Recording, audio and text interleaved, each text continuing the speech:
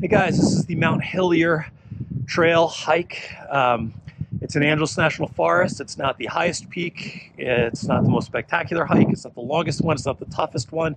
It's a nice, mellow, five, six mile loop hike in a part of the park that's not visited much. I haven't seen anyone else out on the trail this morning, which is pretty great.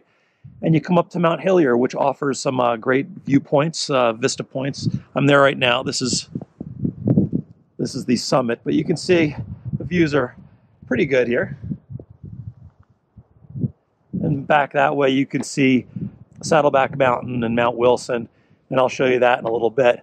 Um, there's also a lot of these really cool rock formations and boulders here. This was an area where a guy named Vasquez, who uh, the character Zorro is loosely based on, uh, used to hang out with his gang in the mid 1800s. He was either a freedom fighter or a bandit, depending on your viewpoint, kind of like a Robin Hood type figure. Um, but when you start the hike, you go through an area named uh, Horse Flats, and there's a campground there. But that's a little, little hidden um, pasture where they used to keep their stolen horses. And if there's ever any trouble, they could run up into these boulders and hide out or defend themselves. So, a little bit of interesting history. I do have some more historical tidbits on the website. So, if you're watching on YouTube, make sure you go there. I also have maps and parking information. There's a link to that right underneath the video um, on YouTube. So please check that out as well. But otherwise, let me show you how to do this beautiful mellow hike. Let's go. The hike starts uh, just past the Chilao Visitor Center. It's a little bit tricky, so check out the directions on the website, but you can see there's a parking area. And you're going to pick up the Silver Moccasin Trail, which is right here. Now, the Silver Moccasin is actually a, a uh, pretty long through trail in Angeles National Forest, but we're going to be on a little portion of it that's actually well maintained. Um, you can see there's mountain bike tracks here. This is a popular loop for mountain bikers too, which can help you out if you get in a spot where you're not sure where the trail is. You just follow the mountain bike tracks and you should be fine. And shortly after the beginning, you're going to start climbing up and Obviously, when you climb, you get good views. You can start seeing some of the peaks pop over the horizon there. And we're going to be doing this kind of gentle uphill for about the first mile until we get to uh, the next landmark, which is the Horse Flat Campground. And again, you can see the trails in really good condition, really well maintained, so that is a plus.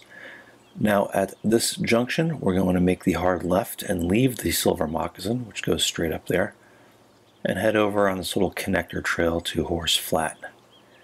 You can see it's all well marked. Really nice trails here, nice condition. Now when you come out to Horse Flat, we're going to make the hard um, left to continue on the trail, but you can see there's some bathrooms up there, so if you need to go to the bathroom, this is the place to do it.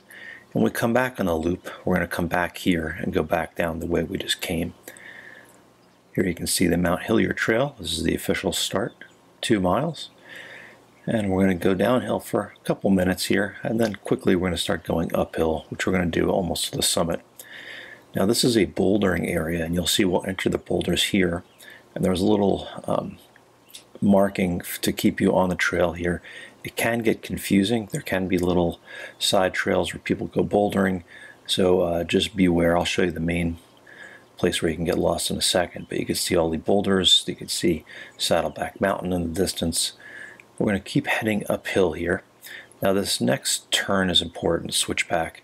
It's real easy to go straight here and get lost in a maze of little use trails through the boulders right over there, but instead we're going to kind of cut back here on the switchback, and you can see right away the trail is much wider, and again the mountain bike trails are here to uh, help you on your way.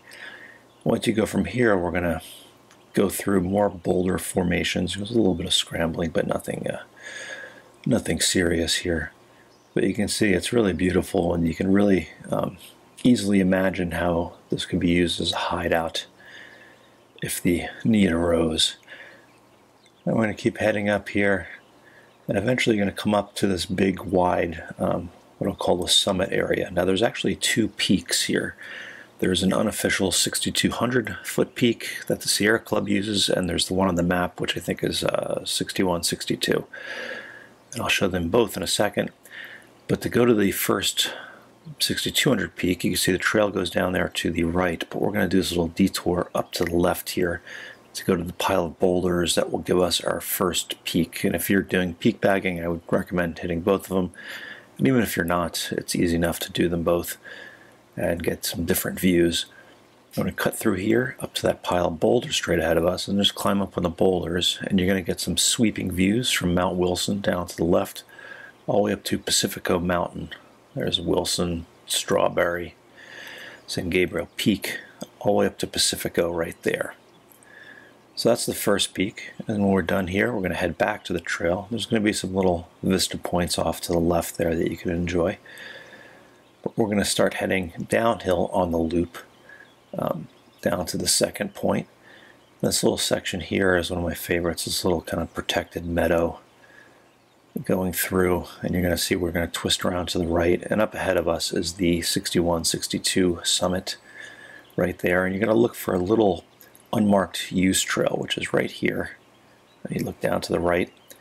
That's only a few minutes hike up the hill here. It's not not tough by any stretch of the imagination we're just going to go up here until we get to the end of this section where there's another pile of boulders, which you can see right here. And this is the official peak that you will see on the topographic map. So check it out. Straight ahead you can see uh, Twin Peaks, Mount Waterman. When we're done here, we're just going to head back to that trail and continue on the loop. Now if you don't want to go on paved trails, you can just turn around and go back the way you came. But we're going to go down some paved trails in a second. But first we have some more trail trail to descend, which is beautiful, and you can see there's great views as you go down here through the pines. But eventually we're going to come out to uh, an area called uh, Rosenita Saddle, which is right here.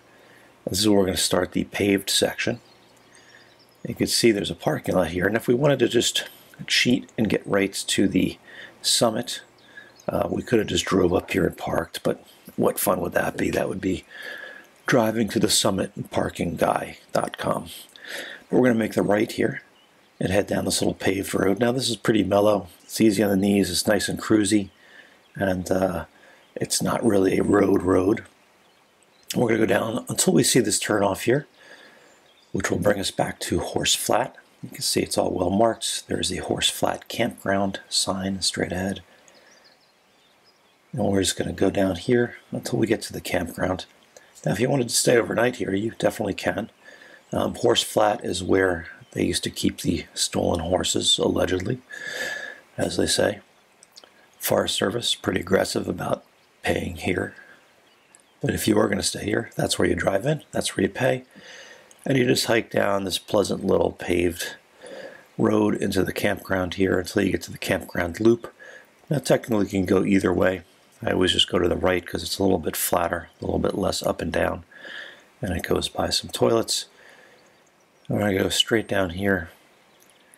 You can see there's some toilets there. This is another place to go. There's no toilet at the trailhead. There's also no water at the trailhead, just as an FYI. There's not a lot of shade on the hike. I'm going to keep going around until we kind of get to the end of the loop.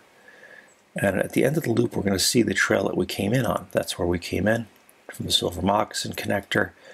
There's the Mount Hillyer Trail that we went down originally.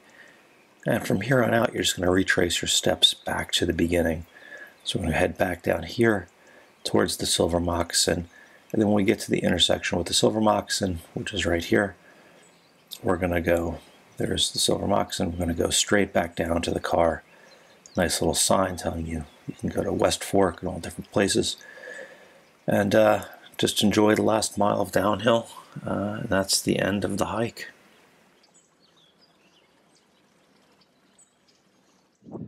Yeah, so that's it, Mount Hillyer. Again, if you uh, want to get away from the crowds, this is a good option. Also, if you're beginning hiking, you want to start building up to bigger peaks, Mount Hillyer is a good one to start on. Now, if you're watching this on YouTube, there's a link right to the right underneath the video to the full guide. And if you uh, want to say thank you, just please click that little thumbs up button. It's an easy way to do it. It helps other people find this video, hopefully do the hike safely, not get lost. So Mount Hillyer, if you have any questions, leave them in the comments on YouTube. I'm pretty good at answering most of them. But otherwise, enjoy this beautiful hike if you have not already. And I will see you guys out there. Bye.